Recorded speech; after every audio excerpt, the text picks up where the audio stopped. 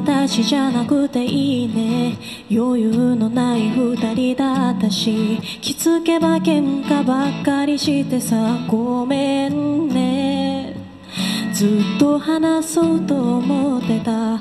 きっと私たち会わないね。二人きりしかいない部屋でさあなたばかり話していたよね。もしいつかどこかで会えたら今日のこと笑ってくれるかな理由もちゃんと話せないけれどあなたが眠った後に泣くのは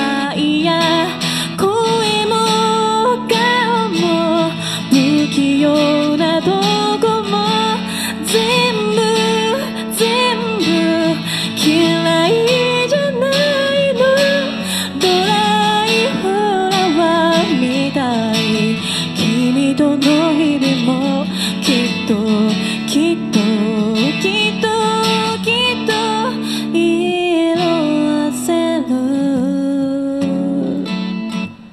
ん。ありがとう。